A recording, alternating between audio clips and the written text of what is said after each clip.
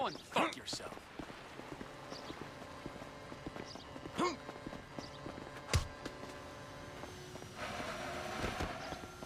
Stop being a what? You hideous mistake! Give me cover and fire!